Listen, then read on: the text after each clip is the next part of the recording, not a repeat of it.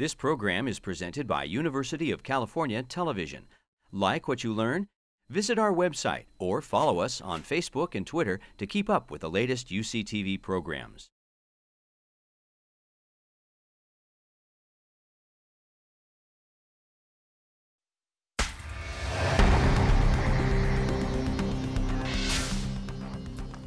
Good morning, everybody. I am Joanna Albala. I am the manager of the Science Education Program at Lawrence Livermore National Laboratory, and I'd like to welcome you this morning to Science on Saturday, which is brought to you in conjunction with the Livermore Valley Joint Unified School District. And before we get started, did everybody enjoy that first look, that sneak peek into the lab? Wasn't that cool? Um, we are going to go over some housekeeping rules. So first of all, in case of an emergency, the ushers will safely lead us through the exits into the front of the building, so please follow all ushers' instructions. And also, if you take a moment to silence your cell phones so we can hear the presentation clearly. And at the very end of the presentation, we'll take some questions. So we'd like you all to stay and hear the questions. And if your question doesn't get answered um, at the very end, you can come down and speak with the presenters at the apron of the stage. So this year's theme for Science on Saturday is Women in STEM. Who's come already this, uh, this year to hear our other presenters? Oh, that's awesome. So we've heard about science, and we've heard about technology, and today we're going to talk about engineering.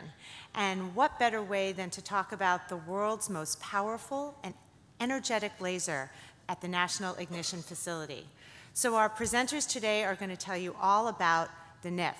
And Dr. Tammy Ma is an experimental physicist at the lab who works on NIF.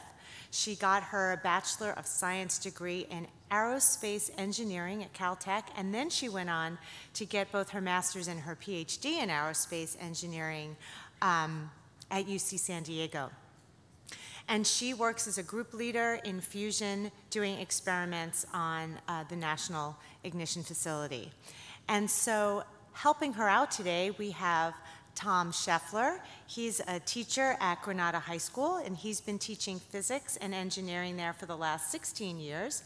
He got his bachelor's degree in physics and applied math from Western Michigan University, and then he went on to get his master's in um, astronomy and um, aerospace as well. So we have a terrifically fabulous team to talk with you today. But wait, there's one more thing.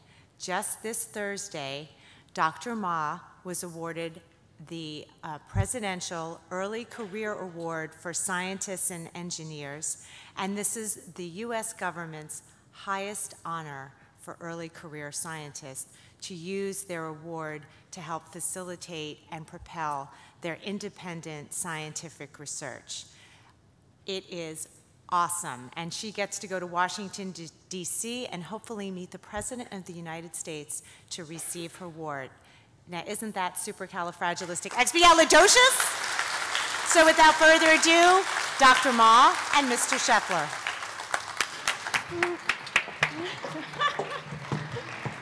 Good job. Good morning. Well, thank you so, so much for joining us this Saturday to talk about a little science. Uh, like Joanna said, my name is Tammy. I'm an experimental physicist at the lab, and it is really such a thrill for me to be talking to you today because not so long ago, I was actually sitting exactly where you are sitting. I grew up in Fremont, and my parents brought me to Science on Saturday when I was in high school. And hearing some of the presentations, hearing about some of the science, just really inspired me. I thought it was absolutely amazing. So it's really a thrill for me to get to be a part of the lab today, but also to get to talk to you. Now, I was also incredibly fortunate. I had some really amazing science teachers, like Mr. Tom Scheffler, so we're really excited to be talking today. So, what are we going to talk about? Well, first of all, we're going to go over some of the energy usage of the world and talk about why we need more energy. And then we're going to talk about how the sun makes energy using this process called fusion. And then back here on Earth, in fact, here at Livermore, we use lasers to make fusion, so we get to talk about all of that today. Right now, the world uses 13 terawatts of power. What does that mean? How much is 13 terawatts of power? Well, if you've taken advanced math, maybe physics, you've learned some of the Latin prefixes. Tera means 10 to the 12. So 13 terawatts is 13 with 12 zeros after it. It's a really big number. But what does that actually mean uh, in, in terms of some daily life items that we might better understand? Well, 13 terawatts of power could run 670 billion compact fluorescent bulbs. So currently, the population of the world is just above 7 billion. So this is equivalent to each human being on Earth turning on 100 light bulbs at exactly the same time. If we think in terms of laptops, 13 terawatts would run 300 billion laptops. So that's about 50 laptops for each human on Earth. In terms of refrigerators, 24 billion. So that's three to four refrigerators full of food for each human being. And finally, smartphones. How many of you guys have an iPhone or maybe an Android phone? You guys have one, right? 13 terawatts of power would mean that every human being on Earth is running 350 smartphones simultaneously at exactly the same time. But here's the rub. The world will actually need more energy. So if we look at this image, it's a satellite image taken by NASA of the Earth at night. Um, it's actually a composite of a whole bunch of different images. Um, what you can see is the Earth lit up where there's large populations, where there's cities, and people are turning on their lights, right, to light up the night sky. So you see that the US is quite bright, particularly on the coast. Europe is bright, and China and India are really bright too. But China and India are actually not that bright given their population density. So we know in the coming years, as technology continues to advance, we develop new electronics that require electricity to run. And as the human population continues to increase, and importantly, these developing countries decide they want a standard of living similar to what we have in the US. It turns out we consume a whole bunch of energy. So we know that in the coming decades, the amount of energy we will need to power the world will continue to grow. Now, another way of looking at this is by looking at this plot of energy usage over time. What's our historical energy usage look like? Well, the y-axis, that vertical axis, is energy in exajoules per year. Joules is a unit of energy. Exa is another Latin prefix for 10 to the 18, so it's 1 with 18 zeros after it. And then on that uh, horizontal axis is year. And you can see that over time, our energy usage is definitely growing. And you can imagine if we extrapolate this chart out to 2020, 2030, where's that line going to continue to go? It's just going to continue going up, right? So what's really fun is actually we can go back in history and actually correlate some of the trends we see in energy usage with certain historical events. So first of all, uh, in the early 1800s, uh, we had the Industrial Revolution. Now, the Industrial Revolution was a period of enormous growth because we found out that instead of relying on human labor to manufacture, we could turn to machines and we could turn to factories. And what do we need in order to get those machines and factories to run? We need an energy source, right? In addition, during the Industrial Revolution was when steam transport uh, really became ubiquitous. Uh, steam transport in terms of uh, trains, ships, boats, and in order to get those things to run, you also need a source of energy. Now, in the 1920s was when Ford's Model T was introduced. This was the automobile um, that was available to the average family because it became affordable. Now, in order to run all our automobiles, what do we need? We also need fuel. So then you can see that our energy usage starts to grow. And then there's that very interesting bend right around 1950. What happened there? Well, that marked the period that was the end of World War II. It was a period of relative peace, relative prosperity, and human population boomed. And with more humans on Earth, we also needed more energy. And then something very near and dear to all our hearts, the personal computer was introduced in the 1970s. And with that, you can see that the um, energy usage continues to accelerate upwards. So how have we actually provided uh, the energy that we need over time? Well, starting in the 1800s, we actually didn't have a lot of options. Uh, we primarily relied on biofuels, or wood. So we burned wood to keep ourselves warm, to cook our food. And you can see that over time, our reliance on wood hasn't really changed. The, the width of that bar stays pretty much constant. And that's because there's only so many forests that you can actually cut down to burn for wood. Now, as the Industrial Revolution uh, progressed, um, you can see that we started using more and more coal to run those factories and machines, and our reliance on coal continues to grow through to today. Now, with the introduction of the automobile, we started relying on oil. We needed oil to run all our cars. And then at that kink, at that bend, right around the 1950s, and as, as, our standard of living started to increase, and we all wanted to keep our homes warm, warm year round, we started relying on more natural gas. And then uh, we built dams. Uh, these are hydroelectric power. So what you're going to do is build a dam across a river, and as the water rushes through it, you're going to turn generators, turn turbines, and get electricity out. And we built a lot of these dams in the 1950s, 1960s. And you can see that since then, though, the width of that bar hasn't really changed. And that's because there's only so many rivers we can actually dam. And finally, to fulfill the rest of our need, we rely on nuclear power. Nuclear, in the conventional sense, fission power plants um, that are able to actually provide quite a large base load, and we can build them close to cities. So if I look at this plot, what really stands out to me is that even today, the majority of our energy is provided to us through coal, oil, and natural gas, right? Well, what are coal, oil, and natural gas?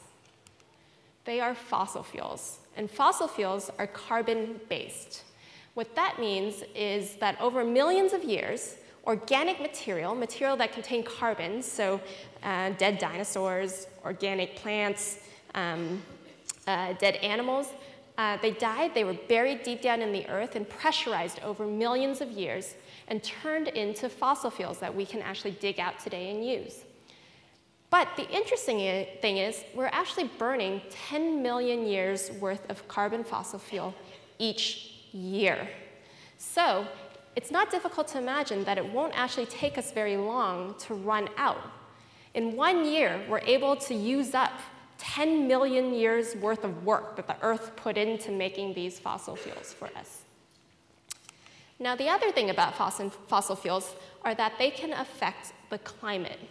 So this is a diagram from NASA that tracks over time the changing temperature of the Earth between 1884 through 2015.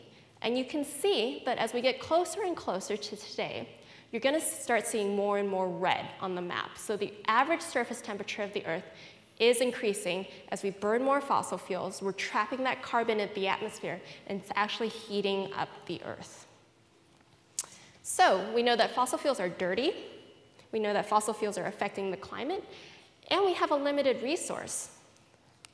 So what are some of our future non-carbon energy sources? Well, first of all, there's hydroelectric. We talked a little bit about this already. These, is, these are dams um, in rivers. There's geothermal. What geothermal is, is you dig way down deep underground, um, uh, several miles into the magma of the earth, which is really, really hot, and you're gonna release that heat as steam and use that steam to run generators. Now, the issue with geothermal is there's only a few places in the world where you can actually harness that energy.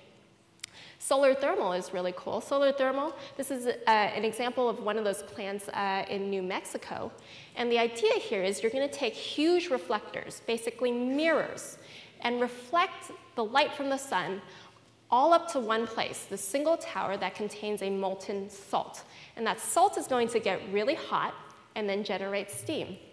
Now the issue with solar thermal is you need a lot of land, a lot of space to set up your reflectors, and you need a lot of sunlight. So where's there a lot of space, a lot of sun? Well, typically the deserts. And the issue is people don't live in the deserts. People live in cities, typically pretty far away from the deserts. So transport of that electricity is an issue. And then there's photovoltaic. This is probably an energy source that's quite familiar to many of you because you might have solar panels up on your roofs. and wind power, wind as in the, the wind turbines like we might have up on Altamont Pass. Now, photovoltaic and wind are really nice because you can bring them close to where your humans are living. Um, but the issue is they also take up a decent amount of room uh, to generate their electricity. But the other issue is they are intermittent, right? At night, you don't have the sun, so you can't get any electricity out of your solar panels. And with wind, the wind has to be blowing in exactly the right direction at the right range of speeds in order to turn those turbines that you get power out. And finally, there's nuclear. As I said, nuclear does have the capability to provide a lot of energy for us. However, um, we're often concerned uh, with nuclear meltdowns and the radioactivity associated with fission power plants. So I'm going to send it over to Tom now, who's going to do a little demo for you of different energy sources.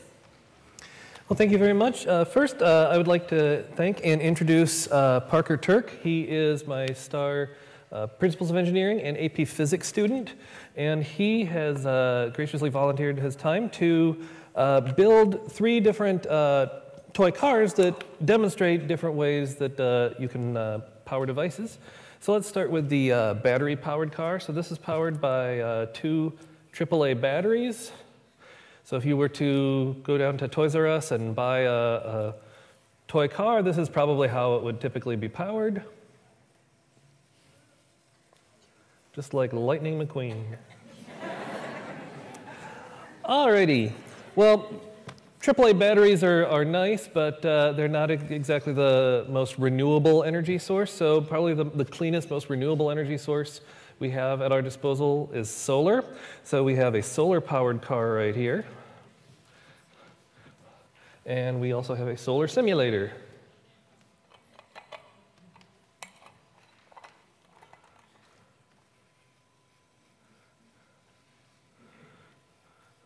So harnessing the energy of light to turn it into the energy of motion, which is totally awesome. But what if you wish to take advantage of an energy source that is uh, as renewable and as clean as solar, but you want to use it, say, at night when the sun is rather dim?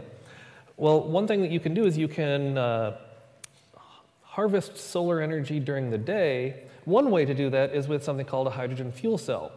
So these three little uh, blue devices on top of this car are called hydrogen fuel cells. And the fuel is just ordinary distilled water, H2O. And what I did this morning uh, is I charged each of these fuel cells by hooking them up to uh, a solar panel, shine the light on it, and what happened was the energy from the light went into the water and it broke up the hydrogen and the oxygen. And you start with H2O and you take the hydrogen, move it over here, oxygen over here. So we have hydrogen gas and oxygen gas in these little reservoirs in the bottom of the fuel cells. Well, if it takes energy to pry apart the hydrogen and the oxygen, if you allow that process to reverse and you allow the hydrogen and oxygen to reform, you can obtain energy from that reaction. And that's how the fuel cells work. So let's see how that goes.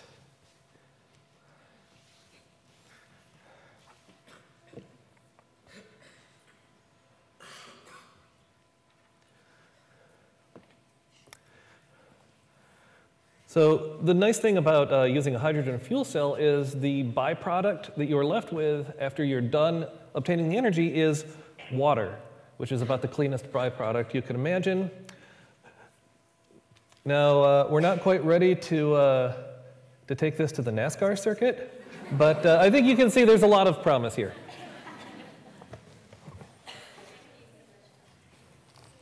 Thank you so much, Tom. So I hope that gives you a little bit of an idea of the efficiency of different energy sources. But as you saw, we needed a pretty big solar panel to run that little itty bitty car, right? Imagine how big a solar panel you might need to run the car you drive or your parents drive or even to power homes in cities. So the question really then is, is there another idea? So as scientists, uh, sometimes we have to think really hard. We sit in our offices scratching our heads. Um, sometimes we have to be really creative. But it turns out that sometimes the answer is actually right in front of you. What if we could build a miniature sun here on Earth, and harness that energy. How cool would that be? I agree, amazing. Um, the sun and the stars are powered by this process called fusion. Now, the basic concept behind fusion is very simple. You're going to take a light element, uh, two atoms of a light element, in fact, and you're going to get them hot and dense, and you're going to squeeze them together until you get a heavier element out. And with that comes some energy. So, what's the lightest element on Earth? Hydrogen. And in fact, we're going to start with two isotopes of hydrogen. Now, isotopes mean you're still going to have the one proton and one electron that make it a hydrogen, but in addition, you're going to have varying number of neutrons. So in deuterium, you're going to have one neutron, and in tritium, you're going to have two neutrons. We're going to fuse them together, and then on the other side, we get helium. Now, because that helium weighs a little bit less than those original two hydrogen atoms, that mass is going to get converted into energy. Well, how do you do that? Well, we're going to stick it into a very powerful equation that you might have heard of before, E equals mc squared. So again, if you weigh that deuterium tritium, it weighs a little bit of something. It goes into this reaction called fusion, and on the other end we get helium, and it's going to weigh a little bit less. Now that differential in mass, we're going to put into our equation as the m, and we're going to multiply that m by c squared, where c is the speed of light. And we all know that that is an enormous number, right? So m times c squared, you're going to get a tremendous amount of energy out.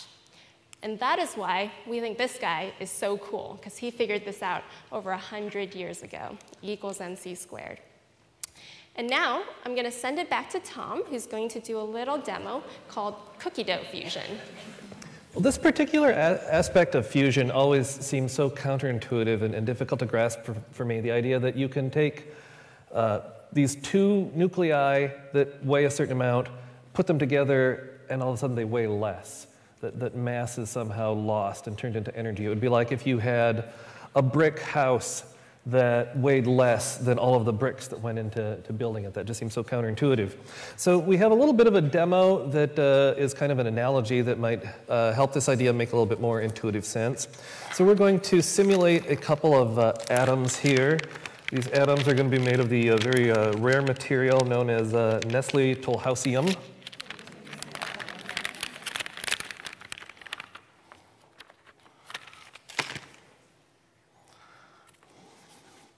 So here's one Nestle tolhousium atom. Here's a second Nestle tolhousium atom. And Parker, if you could come on out and put these on the scale and tell me their mass.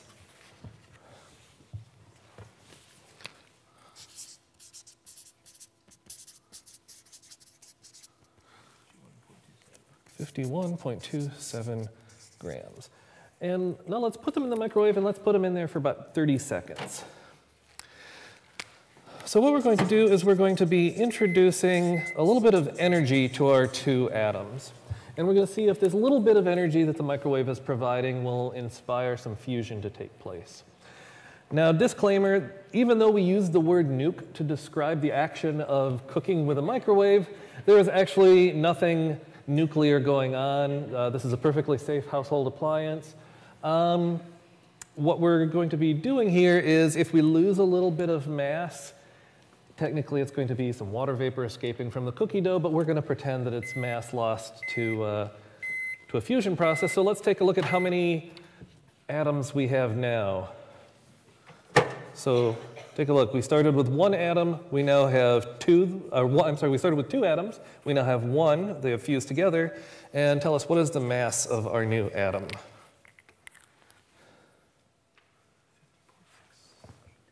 50.68. So notice we have lost some mass.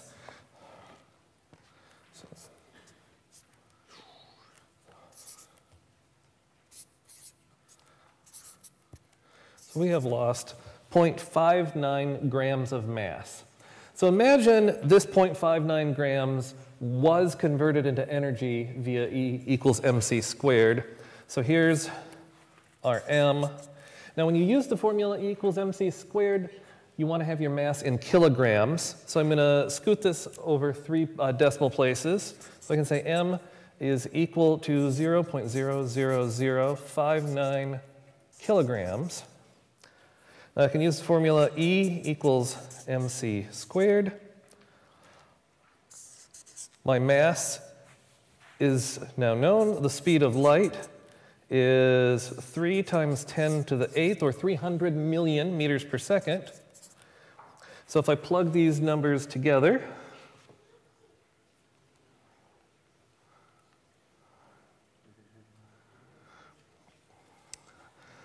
I get 5.31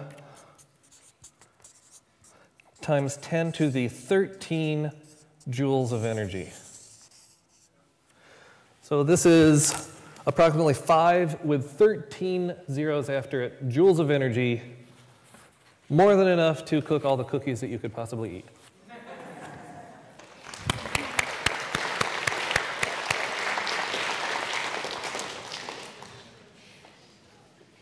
That amount of energy is actually equivalent to about 5,000 tons of TNT, just that little bit of mass loss.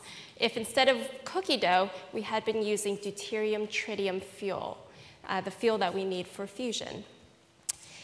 So like we said, instead of using cookie dough, we're actually using hydrogen, right? But where do we find hydrogen? Well, H2O, right? And it really turns out that water is the fuel of life. The planet is covered by 70% seawater. And in fact, uh, deuterium, one of those isotopes of hydrogen that we need in our fusion reaction, is naturally occurring in seawater. So all we have to do is go scoop it out. So fusion fuel is actually very plentiful, right? We can get it from seawater. And it turns out that a single pound of fusion fuel is equal to 5,000 barrels of oil, which is equal to three and a half million pounds of coal. So what would you rather have, a pound of hydrogen or three and a half million pounds of coal? And potentially, this means that we have fusion fuel for 30 million years.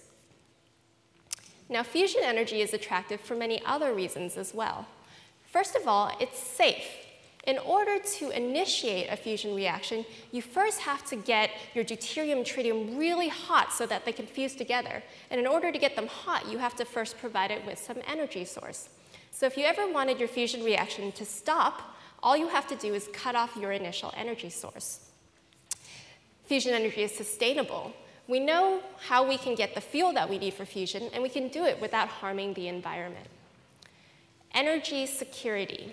If we can demonstrate fusion as a viable energy source, no longer will we have to rely on foreign oil imports. And then baseload. A fusion power plant would be very similar in scale to a coal-powered plant or a fission power plant, easily be able to feed the energy needs of a city the size of San Francisco. Fusion is carbon-free. The only byproducts of fusion are helium, so no carbon anywhere. And finally, no geologic storage. There's no enrichment, no reprocessing, no high-level radioactive waste associated with it. So, at the National Ignition Facility, the NIF at Lawrence Livermore National Lab, we are working to build our own miniature sun. And the NIF is actually the world's largest and most energetic laser system. It's actually the size of three football fields side by side in a building that is 10 stories tall. So I bet you didn't know that just in your backyard, your very own backyard, is the world's largest, most energetic laser system. That is pretty cool. And what the NIF does is it's not just one laser beam, it's 192 separate laser beams. And what we're gonna do is concentrate the energy of all 192 laser beams into a millimeter cubed into a tiny target that's about the size of a pencil eraser. And we have an image of it right, right there on the bottom left. What you're looking at is a hohlraum. It's going to be a gold canister. It's um, a little soup can with holes on either end. And right in the middle, we're going to hold our fuel pellet, that capsule, right in the middle. And the process we're going to use is called inertial confinement fusion. ICF, to bring star power to Earth. But whereas the sun is about a million miles across, the experiment that we're going to do in the lab is on a scale of 2 one thousandths of an inch. That's about half the diameter of a human hair. So how do we do this? Well, here's our recipe to build a small star. First, we're going to take a hollow spherical plastic capsule. It's about two millimeters in diameter. This is about the size of a small pea. And what we're going to do is fill it with deuterium and tritium. And then we're going to place that fuel capsule in the middle of that hohlraum. That hohlraum is that gold canister that's about the size of a pencil eraser. And then we're going to focus the light from the biggest laser in the world onto the inside of the hohlraum. So the NIF is 192 laser beams. We're going to take half of them, 96 of them, send them um, through one laser entrance hole, and then the other 96 beams through the other hole. And they're not going to hit the capsule directly. They're going to hit the inside wall. And what happens is we're going to generate very, very energetic X-rays with that laser light. And those X-rays are going to compress the capsule.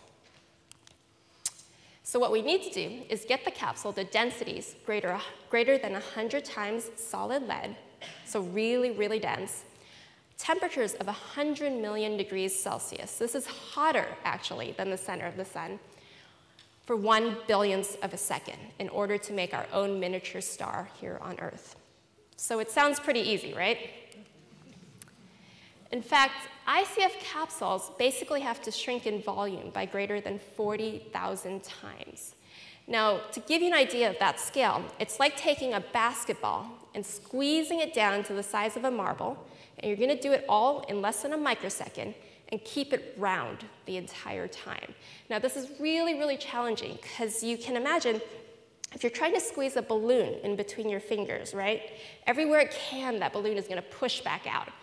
So this is what we have to fight. This is one of our big challenges, that we stay round the entire time that we're doing this compression.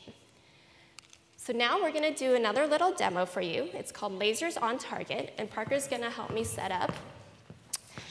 And I'm gonna bring out here a scale model of our target. This target is actually 20 times larger in size than the real target.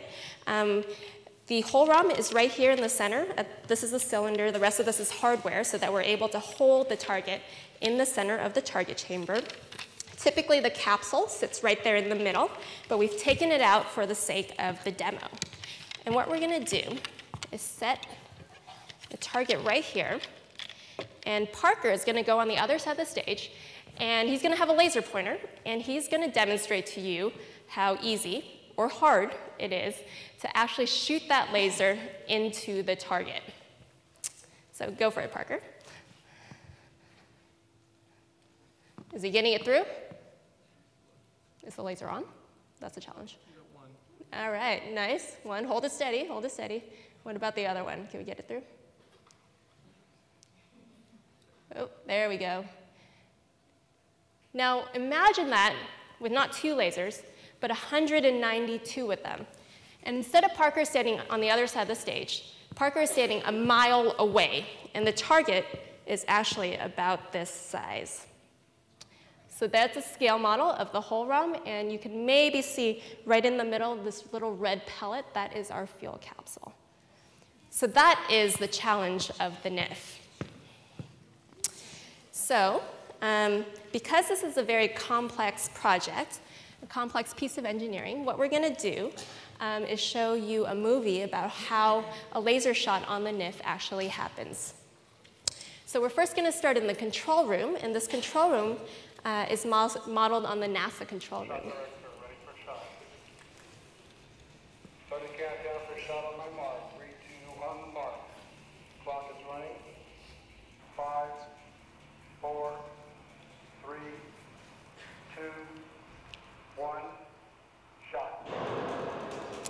So now we're going to start by energizing the laser. The laser is actually born in the master oscillator room at about a nanojoule level, so really low energy. And we're going to shape it. And then we're going to take that one laser pulse and split it 48 ways. And it goes into the preamplifier chain. And there it's going to get a little bit of energy up to the joule level. And then we're going to take each one of those beams and split it four ways so that now we have 192 separate lasers. These lasers are now going to bounce back and forth multiple times through this uh, huge facility the size of three football fields.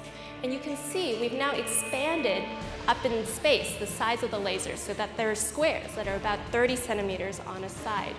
And the reason we have to do this is because there's so much energy in those lasers that we have to spread out that energy so it doesn't damage the optics as it's traveling through.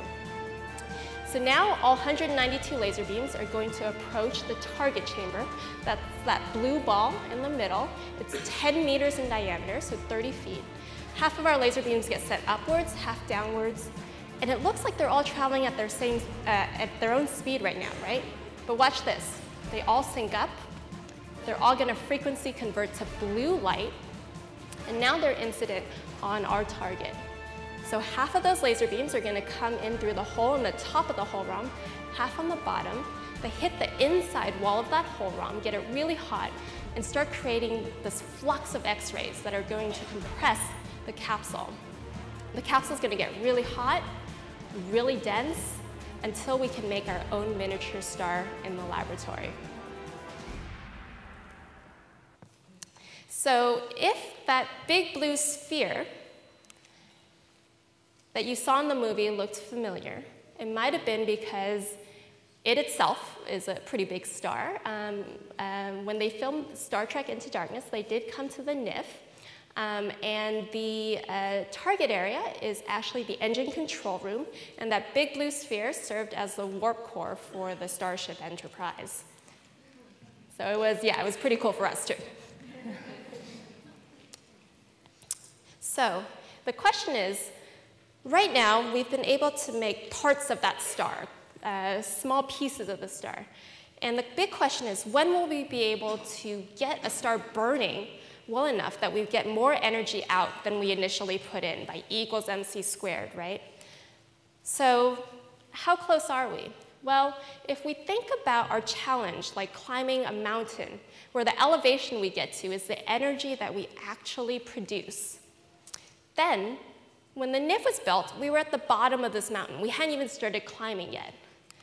And we found that when we started experiments in 2009, when the facility was completed, we needed to get 100 times more energy into our fuel than we were getting in order to get to E equals mc squared, energy out. So we started doing our experiments, getting better and better at them, and by 2012, we were 10x from where we needed to be. We needed 10x more energy that we had to get into the fuel to initiate those fusions. And where are we today? Well, we're only about three times away from where we need to be. So if this mountain is 1,000 feet tall, before the NIF was built, we were standing at the bottom. In 2009, we only had 100 feet left to go. In 2012, we had 10 feet left to go. And now we're really, really close. We only have three feet left to go. But the top of the mountain is covered in clouds. We can't really see it. And we know it's a really steep climb. And we don't know exactly what path to take, right? So we have to try out little things, and all we can do is take one little step at a time. Now, uh, recently, uh, in about 2013, we actually had a nice achievement called alpha heating. What that meant was we were able to start enough fusion reactions and hold that star together long enough um, that the helium that we were creating by fusing that deuterium tritium, that helium could get trapped and redeposit its energy in the fuel. And by that, we could double the number of fusion reactions we had started. So this was a big achievement for us. But really, this is the goal, ignition. The top of the mountain, E equals mc squared, more energy out than we put in. Now, when we did hit that alpha heating, when we actually did manage to to demonstrate fuel gain. So fuel gain was more energy out of the fuel than we put in, not more energy from the lasers, so we still have quite a few steps to go. Um, but when we achieved that, uh, we wrote up a journal article in Nature, and scientists, when we want to share our discoveries with the world, will publish in a journal, and Nature is a pretty prestigious one. Um, this was a really exciting day in fusion research, and you can see it was picked up by international media, and they were really excited too. Uh, fusion energy breakthrough, a star is born. Um, and this is true, it was the first time in nuclear fusion research um, in 60, 70 years that we had been able to demonstrate this. So I'll leave you with this, that achieving ignition on the NIF will bring us closer to harnessing the energy of the sun and the stars to meet the Earth's energy needs. Thank you so much.